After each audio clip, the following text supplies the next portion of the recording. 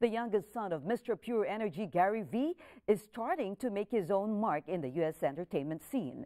Gab Valenciano was recently honored and featured at the University of California, Los Angeles Hammer Museum as a cutting-edge fresh filmmaker in the Flux screening series.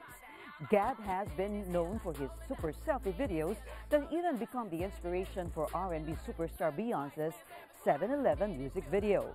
Gab also directed American Idol Season 11 runner-up Fil-Am Jessica Sanchez's latest music video, This Love. He is the first Filipino to be honored at the event that featured filmmakers from the United Kingdom, New York, and San Francisco, and he took that opportunity to teach them some Tagalog.